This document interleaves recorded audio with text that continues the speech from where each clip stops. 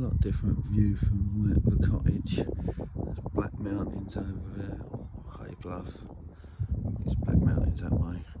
But you can see it's different. And this did have a tree in it right there. And I don't know what happened to it. So I cut it down, made benches. But, uh, yeah, there was a tree there.